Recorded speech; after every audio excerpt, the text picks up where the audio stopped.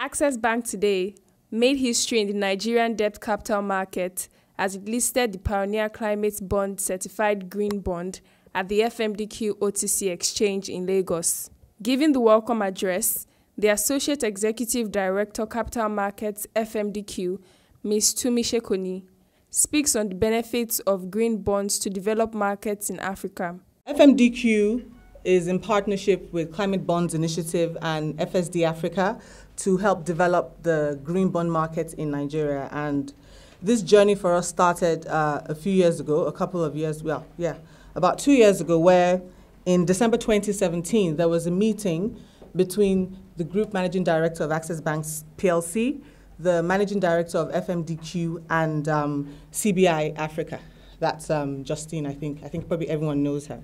And in that meeting, the, the, it was sort of um, FMDQ understood or knew about the journey, the sustainability journey of Access Bank. And one of the things we're trying to do was develop, or we are trying to do is develop the non-sovereign green bond market in Nigeria. And we're looking for a pipeline of potential issuers.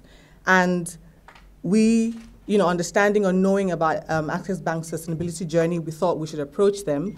And that culminated in the meeting with um, the group managing director, our MD, and CBI um, Africa. That's in December 2017. So this led to some sort of partnership between FMDQ and Access Bank PLC, and they have been very supportive in all that we've been trying to do in um, developing the green bond markets in Nigeria.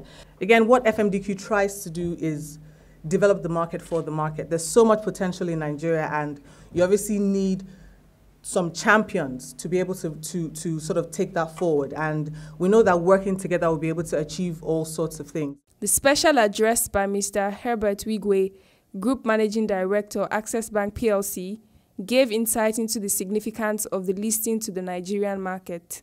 Just as has been said already, it's important for you to start initiatives that ensure that we live our lives responsibly. And the only way to do it is to make sure that you don't just have it as a one way track, one or two institutions. No. Let us look for institutions that have a strong convening power to bring many, many more people, all right, to do things, act responsibly, and in ways that can protect our environment and, of course, our continent. So, coming here today to list the first climate certified green bond in the continent for us is a thing of pride. And we think that hopefully it will open up the market for several other green initiatives hopefully, because that is the whole idea. Just as Tumi said, it's extremely important. We need to basically see how we can get more and more institutions in our country, more and more banks, all right, to come in and join us in this whole crusade. The instrument is 15 billion naira.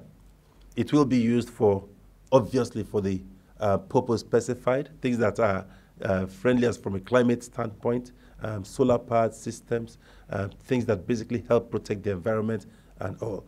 And we're all aware of all the big changes and the climate changes happening world over. We can see it happening in places like Mozambique, etc., etc. And if we don't take and live responsibly, all right, all of that is going to come to happen to us um, across the entire continent. So for me, it's a big day.